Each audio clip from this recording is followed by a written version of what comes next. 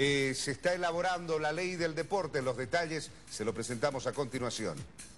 Tenemos que eh, eh, recoger de los CDDs, en este caso, las iniciativas para su legislación departamental, pero también bajo lineamientos de una legislación nacional.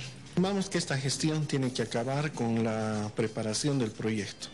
Es sumamente complejo porque esto tiene que ser participativo, de modo que ojalá este último semestre podamos ya tener un proyecto que podamos poner a consideración de la Asamblea Legislativa Plurinacional para que en el peor de los casos, eh, el primer trimestre de la gestión que viene ya se pueda promulgar la ley. Bilzerman inicia esta noche la concentración en un céntrico hotel. Bueno, vamos a otros temas.